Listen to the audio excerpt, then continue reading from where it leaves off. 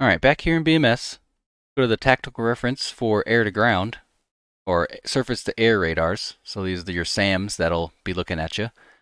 So we go to vehicles, SAMs, and you could choose whatever SAM you want to listen to. So let's go ahead and choose the SA2. This is the actual SA2 radar.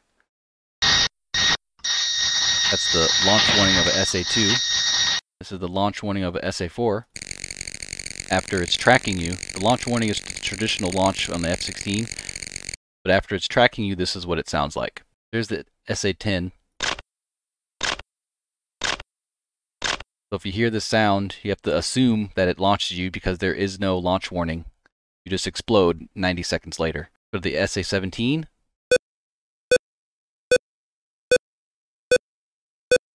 And one last thing, let's go to the Hawk because you usually it's on your side, but let's just see, hear what the hawk sounds like.